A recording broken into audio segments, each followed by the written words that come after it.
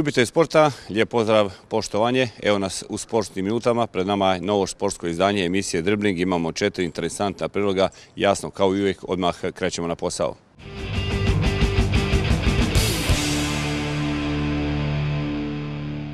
A ovog vikenda igraju se utakmice Max prve Hrvatske nogometne lige, 13 kolo. Hajduk gostovao u Puli, unatoč silnoj inicijativi nije bilo pogodaka. Split nakon dugo, dugo vremena čekanja savladao je Slaven Belupo čak sa 3 naprema 0 u petak na Parku Mladeži. Dinamo sa istim rezultatom lako se obračunao sa Cibalijom. Jučer je Osijek savladao lokomotivu 1 naprema 0, a istim rezultatom Rijeka pogotkom Franka Andrijaševića zadržala čelnu poziciju i šest bodova prednosti nad Dinamo. Završilo 1 naprema 0. Evo kratkog osvrta na utakmice 13. kola Max TV prve Hrvatske nogometne lige. Istra Hajduk 0-0. Velike najave iz obja tabora, ali na terenu se dogodilo nije ništa. Nitko ne može poreći kako se igrači obje momčad nisu borili, igrali agresivno, bili rasrčani, ali slab travnjak nije dozvoljavao kombinatornu igru kako teže spričani. Hajduk je do duše imao punu inicijativu, više udaraca, ali pokušaji su bili neprezirni ili je to bio sigurni domaći Vata Ivušić koji nije imao previše posla, ali ono što je krenulo u okvir gola on je sjajnim reakcijama zaustavio. Pamtit će se posebno njegova obrana nogom u 88. minuti kada je spriječio siguran pogodak, a pucao je glavom Šimi sa svega par metara na ubačaj Berija. S druge strane, Puljani su bili još bezopasniji i igrači domaćina obavili su odličan defensivni posao, ali prema naprijed Kalenića nisu stavili na prevelika iskušenja. Split Slaven Belupo 3-0. Nogometaši Splita u prvoj su utakci 13. kola Max TV prve lige na Parku Madeži pobjedili Slaven Belupo. Crveni su tako prekrili niz od čak 21 utakmice bez pobjede. Svakom nizu, pa i ovom negativnom, eto, došao je kraj. Tješili su se tako i nogometaši Splita koji su u posljednju pobjedu Max TV prvu ligu ostvarili još 12. ožujka ove godine. Više od 7 mjeseci posta, točnije 21 utakmica čekanja i na kraju ipak su dočekali slavlje. Sudbina se poigra sa Splitom i Slavim Belupom, jer baš tu posljednju prvenstvenu pobjedu Splita bila, su, bila je se dogodila u Koprivnici na gostovanju kod Slavim Belupa i baš su protiv farmaceuta, nogometaši Splita u petak prekinuli taj neugodni niz. Utakmica je započela minutom ponosne tišine za preminuga igrača i trenera Splita Milu Viđaka. Krenuli su crvenu utakmicu puno angažiranije igrači Vjekosa Lokvice preuzeli su inicijativu, a Tudnim se spatio u 39. minuti kada je Domagoj Boljat zabio za 1 naprema 0. Sjajno je opalio s nekih 25 metara, a lopta je ušla u mrežu u samu desnu vratnicu. U nastavku utakmice Split je i dalje bio konkretniji i opasniji, iako je Slavin Belupo imao posjed lopte. No momčad iz Koprivnice napadački nije bila opasna i većina njenih napada završavala je bez konkretnije prednje. Domaćini su povećali vodstvo u 55. minuti, Boljat je izborio loptu, izvršno ubacio potrčnih 16 a sigurno je bio Sandro Ugrina. Treći gol zapečatio sudbinu gostiju kontri u 69. minuti povuka odlični Pešić u posliju Marka Pejovske koji je postavio konačni 3-0. Napomenuo kako je Split sedam puta, puta pucao na gost Slaven Belupa, a svi su udarci išli u okvir. Gosti su zapretili devet puta, samo su tri šuta bila opasna. U sve to Split je u prvih 12 prvenstvenih utakmica upisao tri pogotka, a na ovoj utakmici isto toliko. Dinamo Cibalija 3-0 pa je tek nešto manje od 2000 gledatelja hrvatski prvak nije dozvolio iznenađenje te je rutinski upisao tri boda protiv kvalitetom inferiornog suparnika. Cibalija je čak u uvodnim minutama dobro izgledala neočekivano i visoko napala modre, ali takva ofenziva nije dugo trajala. Uskoro su Dinamo igrači u potpunosti zavadili terenom i bilo je samo pitanje vremena kada će to procuriti.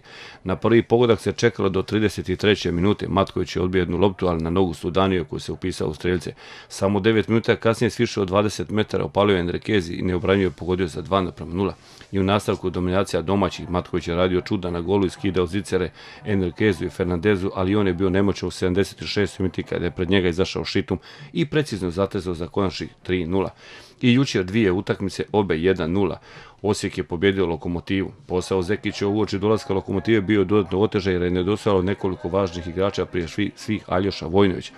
No lokomotivu se jednostavno moralo pobijediti i s tim imperativom domaćini su ušli u utakmicu što je bio još jedan utek.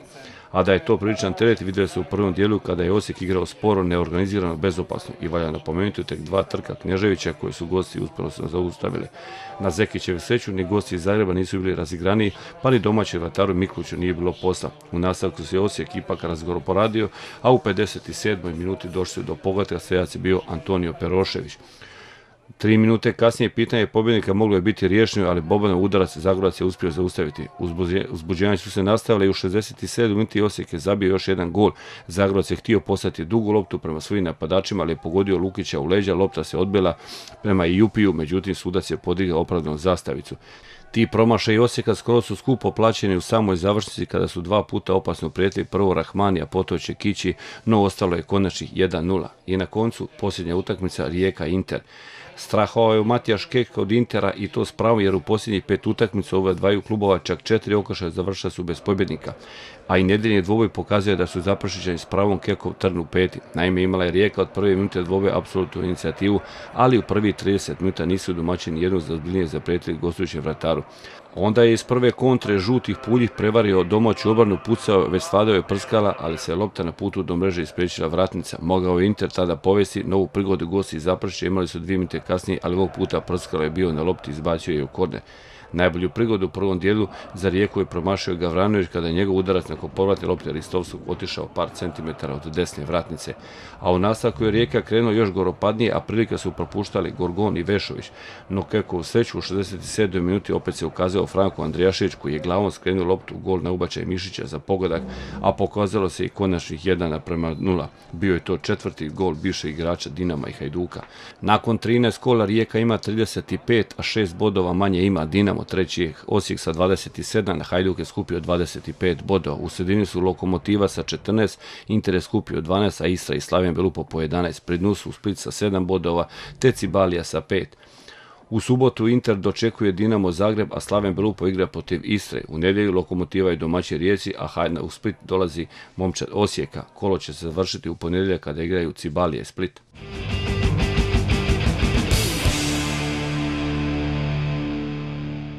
Ostajemo uz nogomete, onaj tužni dio. U petak je na Splitskom groblju Lovrenac pokopan legendarni igrač i trener Splita, igraju u Hajduku, gospodin Milan Viđak. Evo kratkog osvrta. Crvene iz parka mladeži i dalmatinsku nogometnu obitelj u 77. godini nakon duge i teške bolesti napustio istaknuti član Milan Viđak. Šormile je u svoju igračku karijeru počeo u i omladinskoj školi odakle se krajem 50. na nogu od Luke Kaliterne. Sa skupinom su igrača preselio u redove RNK Splita gdje se za razliku od starijih brata Paška u prvi mah nije uspio probiti u tada moćnu prvu momčad pa ga je nogometni put odveo u Karlovac. Nakon četiri godine vratio se među Splitovce, a potom je u sezoni 64-65 odjenuo bijeli dres, odigravši 16 prijateljskih utakmica za Hajduk da bi ponovo skrasio se podno Turske kule gdje je ukupno odigrao 40 službenih utakmica i pogodio šest pogodaka. Kopačke je zakačio klin nakon četiri uspješne sezone u dresu Enka Solin. Upravo je uz Jadro počeo viđe kao trenerski uzet, a Solinjanima se kao i klišanima nakon rada, rada 70. godina još jednom vraća krajem 80. odnosno sredinom 90. kada je uskoko momča doveo na vrh drugog HNL-a. Unatoč velikim uspjesima u manjim sredinama, upravo se uz njegovo ime vezuju uspjeh sjajne generacije Splita koja je uz Dalmatinske lige tadašnje četvrtog natjecateljskog ranga u sezoni 1984-85 stiga na prak prve savezne lige. Crveni su predvođeni Jozom Bogdanovićem, Čakićem, Matom Plazibandom, Runićem, Tončom Gabrićem, Janko Jankovićem, Igorom Jelavićem, Damirom Burućem i ostalim praktički svake godine ulaze u viši rang i prenila ljepotom igre. Ukupno je Mile Viđak vodio svoje crvene u 270 službenih utakmica tijekom 12 sezona, a u klubu je dva bio i sportski direktor. Posebno se pamti njegov povratak u pa- park mladeži u proljeće 2003. godine, kada je stečajem poharan klub bio na netretateljskom i organizacijskom dnu.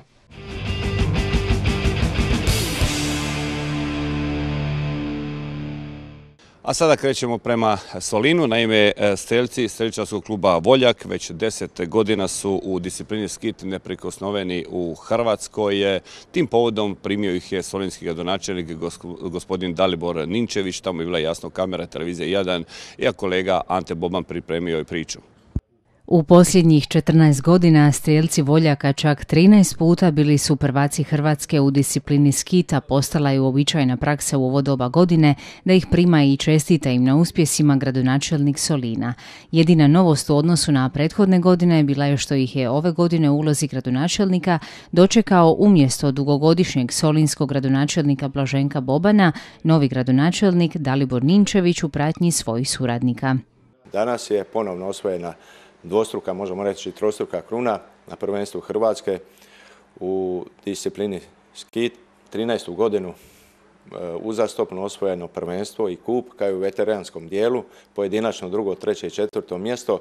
Teško je nabrojiti sve uspjehe koje iz godine godine osvajaju. Evo, to je na neki način potvrda i priznanje i gradu Solinu da ih u okvirima svojih mogućnosti kroz sportsku zajednicu, a i ulaganje infrastrukturu prati streljački klub Voljak kako i zaslužuje. Vjerujem da će taj kontinuitet i ulaganja njihovih rezultata biti u buduće.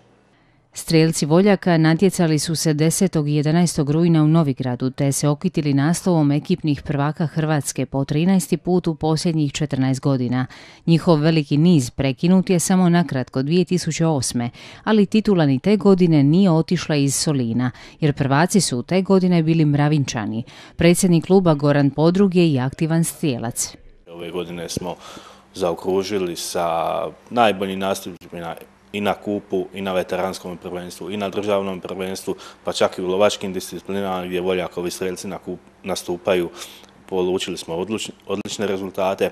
To je samo jedan dokaz da znači ovaj sustav organizacije kroz grad Solin, Solinsku zajednicu športova i male klubove e, jako odlično funkcionira i djeluje i mislim da bi tako trebalo ostati u budućnosti.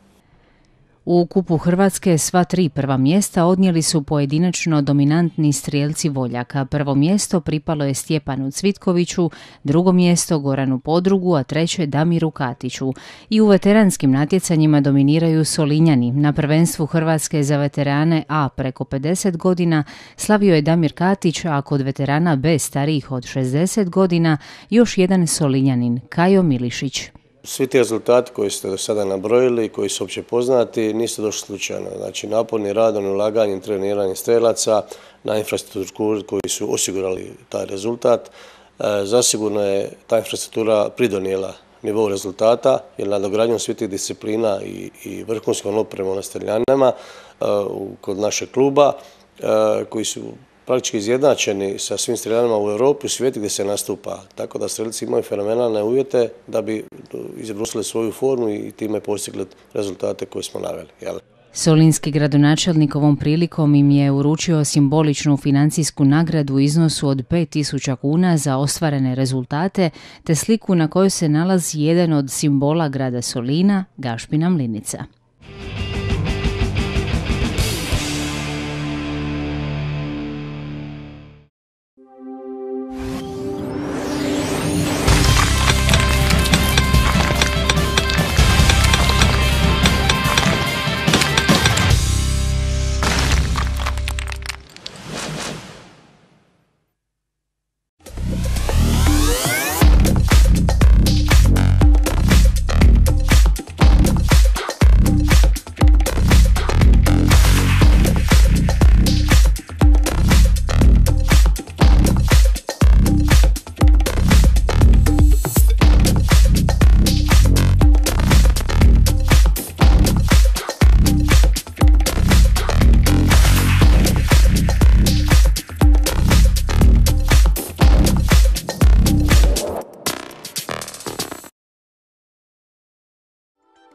Razvojni tim renomiranog proizvođača medicinske obuće tvrtke Dr. Luigi u suradnji s Institutom interdisciplinarnih tehnologija predstavlja moderne metode diagnostike stopala. Diagnostiku obavljamo na 3D skeneru koji digitalizira vaša stopala u računalni 3D model. Zatim mjerimo duljinu i širinu otiska stopala te uspoređujemo i saznajemo razlike između lijevog i desnog stopala koja postoji kod svake osobe. Mjerimo visinu i utvrđujemo geometriju svodova tabana. Obavljamo mjerenja karakterističnih opsega stopala, očitavamo razlike tih opsega pomoću kojih svaki obućar u svijetu može izraditi obuću po mjeri. Razlika visina nogu od samo jednog milimetra može dovesti do ozbiljnih posljedica za kralježnicu kukove i koljena. Među prvima u svijetu mjerimo tu razliku koja postoji kod većine ljudi, a da oni ni sami toga nisu svjesni. Na temelju nalaza diagnostike ortoped daje konačne upute za liječenje ili preventivu prema kojima izrađujemo medicinski džon s ortopedskim parametrima. Posjetite naše dijagnostičke centre u Splitu na adresi Poljička cesta 9 te u Zagrebu u ulici Pavla Haca 12.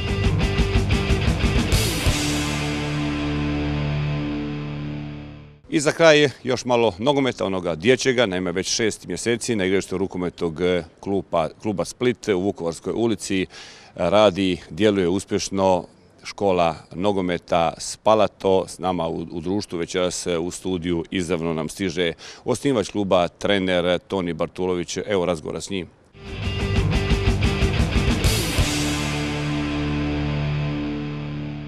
I evo, kao što smo najavili, večeras s nama u studiju je trener e, škole nogometa Spalato, Toni Bartulović, profesor kineziologije. Toni, dobro večer, poštovanje. Evo nas u minutama televizije 1, u sportskim minutama, po prvi put si s nama tu. Evo osjećaj ovdje u televiziji. Hvala na gostoprimstvu, osjećaj je ugodan, jako lijepo i nadam se ugodnom razgovoru. Da, e, ajmo odmah na početak e, riječ dvije o vašoj školi nogometa Spalato. E, mi smo relativno mlada škola nogometa, znači započeli smo s radom u četvrti mjesec ove godine tek, tako da djelujemo nekih pola godine, ne više od toga i za sada nam ide jako dobro. Početak je bio malo teži, papirologija i takve neke stvari, ali smo eto, s nekim pomoć nekih prijatelja i raznim kontaktima uspjeli to, ovaj, uspjeli to dovesti do, do ove razine na kojoj smo sada, što je već osjetno, osjetno kvalitetniji rad i kvalitetniji uvjeti i već smo napredovali dosta, dosta dobro. Kad si došao, Toni, na ideju za osnovati školu nogometa, što te ponukalo? Pa dugogodišnji rad uh, u škola nogometa, ja sam radio dva, dvije škole nogometa do sada, moj kolega u, u jednoj također i te u radu s djecom. Znači radio sam Joker kampu ljeti iz čuvanje djece i, i, i rekreacija, već zadnjih 5-6 godina sam u konstantnom radu sa mladom djecom, malom djecom i nogometašima i ta želja je od bila imati neki svoj klub, imati svoje neki prepoznatljivi rad i, i, i nešto svoje, svoje ideje, nove gurati i, još uz školovanje e, e, na kineziologiji. Ovaj, stalno smo napunjeni novim idejama, tako da ovaj, smo htjeli imati svoje nešto da ih možemo prezentirati. Kažu ljudi da je najljepše e, imati pored sebe dječake, djevojčice, mladu djecu, da su one neiskvarene, rekli bismo tako, roba, kakve imate vi iskustva? Oni su u blago neprocjenjivo. Svaki, svaki najgori dan u, u privatnom životu kad se pet minuta na terenu s tim dječacima koji su tako neiskvareni, veseli i dragi i to je blagodat. No, ne može se treninge prate i roditelji i to smo vidjeli. Jesu, jesu, svi su dobrodošli. Mogu i bake i djede dolaziti. Nikakav problem. E, Toni, spomenuo si e, kolegu, vas dva ste na početak i imate još, ako se ne varam, e, trećeg čovjeka koji povremeno uskače trenera vratara ili slično. Tako je, za sada smo nas dva i to smo se podijelili nekako na grupe. Pokušavamo da je svaki, svaka grupa ima obojicu da radimo s djecom istovremeno jer to je onda kvalitetni rad. Te imamo tako i kolegu koji radi s golmanima, e, to je po dogovoru, da nam i oni dobiju golmanske treninge, ipak su je to drugačija priča nego sami igrački treninzi. I ja i kolega smo zajedno i osnivači, te se i u privatnom životu pratimo kako na fakultetu zajedno, sada evo, zadnja godina diplomskog studija, peta, pa tako i evo u nekim poduzetničkim vodama. Da, rekli bismo prijatelji u ratu, prijatelji u miru. Tako je, tako nekako. E, šalim se, ajmo, ajmo nešto Toni o samim trenizmu, o terminima. E, ovako što se tiče rada, znači treninga, imamo e, termine u dvije smjene. Za svu djecu i za one koji su u cijelodnevnom boravku i za one koji su u dvije smjene u školi, pa tako imamo jutarnje grupe, ponedjeljak, sreda, petak, jutro te ponedjeljak, sreda, petak, e, popodnevni termini, kako za koje godište po satnicama. Subota, nedjelja su rezervirane za razne utakmice, lige, turnire, sve, svašta ima subota Evo, dijelom se već i odgovori na iduće e, pitanje, kao da se me preduhitrili, e, govorite da subotu, nedjelju imate nekakve termine, turnire, jeste li gdje se natjecali, gdje, kada i kakve ste rezultate polučili? Jesmo, jesmo, startali smo evo čim prije smo mogli odmah kroz nakon dva mjeseca smo startali sa raznim ligama, uključili smo sva godišta u, sve u, u, razne lige, tako da ovaj, već imamo neke rezultate, jednogodišnja je prvo u svojoj kategoriji, već jedno je treće i tako što je jako dobro s obzirom na djeca, eto niti mjesec, dva treniraju zajedno kao grupa, tako da su rezultati već sada osjetljivi, što se vidi onda i na broju djece i, i, i u školi, škola broji napredujemo, napredujemo konstantno i, i, i nek se tako nastavi. Toni, kao da mi kradete pitanja, iduće pitanje e, koliko imamo e, djece, koliko imate djece sa kojom ste brojkom e, počeli, koliko vas sad ima?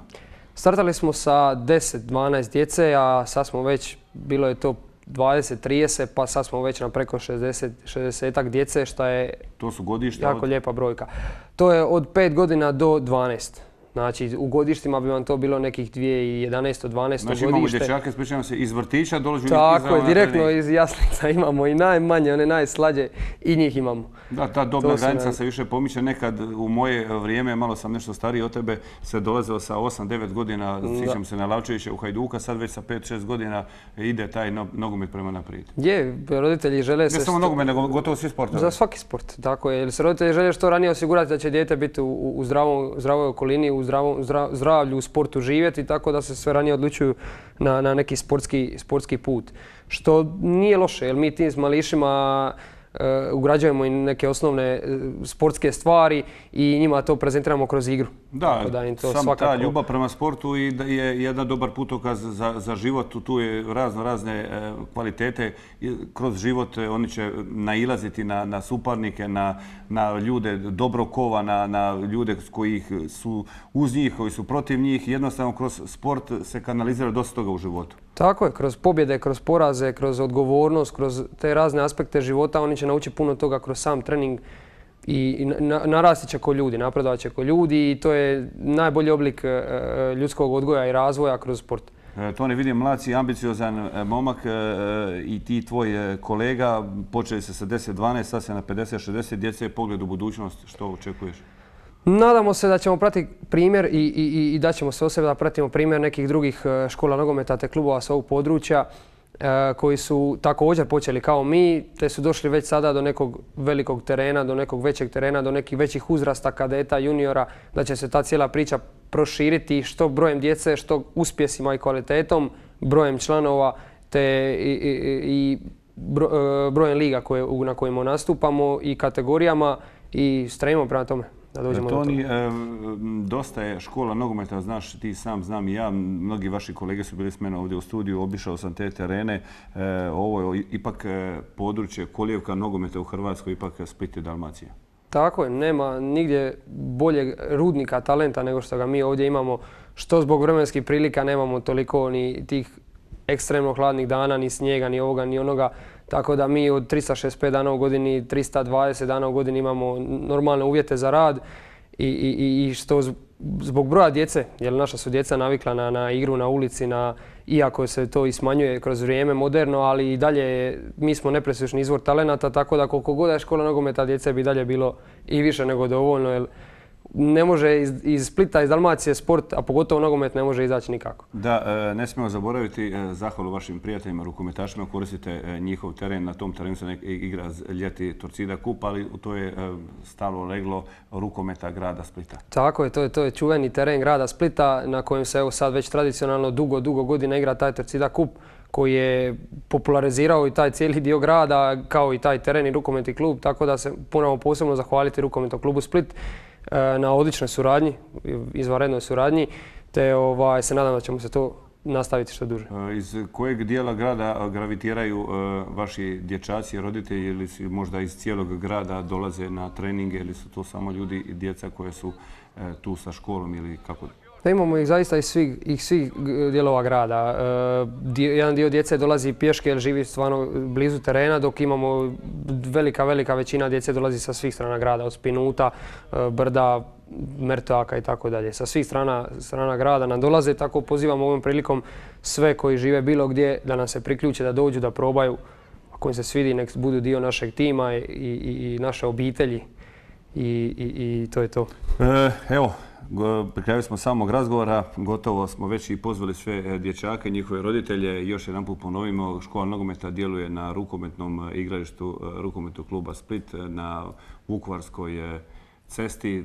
Vama se mogu javiti kojim danima ste tamo i ujutro i popodne, rekli smo ponedjeljak, tako je, ponedjeljak, sreda, petak i ujutro i popodne nas mogu tamo naći, ima tabla, ima sve. Ujutro je od koliko do koliko? Uh, ujutro od 9 i 9 i 10 sati su treninzi. Znači od 9 do 11, tamo i popodne od 17 do 19. Tako je, nas mogu naći. Tamo uvijek ima kontakt, imamo Facebook stranicu Nogometni klub Spalato, tako da nas i tu mogu kontaktirati ili putem poruke ili putem mobilnog, e, mobitela koji tamo stoji, imamo razne ovaj, letke i, i na razne načine nas mogu kontaktirati. Što ih pozivamo da naprave. Neka što više naših dječaka, neka naš Hajduk ima što e, veću e, bazu. Toni, hvala na razgovoru, puno sreće, uspjeha vama, vašoj kolegi. E, pozdrav vašim mladim dječacima koje vidimo u kadru, njihovim roditeljima i do iduće prilike. Hvala vam na gostovanju. Hvala vam na dobrom gostoprinjstvu toplom. Pozdrav svima.